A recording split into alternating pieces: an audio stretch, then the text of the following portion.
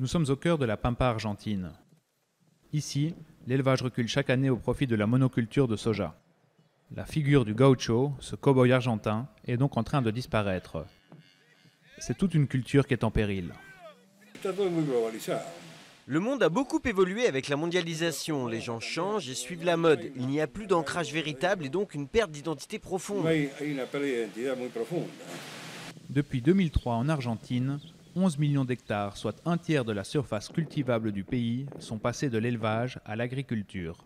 Et pourtant, le style vestimentaire des gauchos résiste, et notamment la bombacha, ce pantalon bouffant. C'est au milieu du 19e siècle qu'il débarque en Argentine. Le pays sud-américain accepte un surplus d'uniformes turcs de la guerre de Crimée proposé par un diplomate français contre des produits locaux. La bombacha est ensuite adoptée dans les campagnes par les gardiens de troupeaux, mais aussi par leurs patrons, car elle est idéale pour monter à cheval. Je suis super habitué à porter ce vêtement. Elle est vraiment confortable et en plus je la porte avec fierté.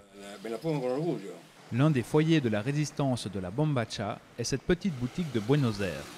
Au Charpentier a été fondée par deux immigrés français à la fin du 19e siècle. Aujourd'hui, la bombacha de coton classique qui a fait la renommée de la boutique coûte environ 60 euros. Le modèle ne se démode pas et attire même les touristes.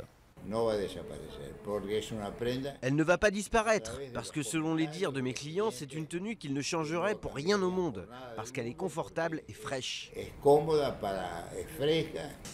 Ici, les bombachas sont fabriqués de façon totalement artisanale. Et c'est ce que viennent chercher les clients. La bombacha demande beaucoup de travail. Languette par-ci, pochette par-là. Cette bombacha a 5 poches.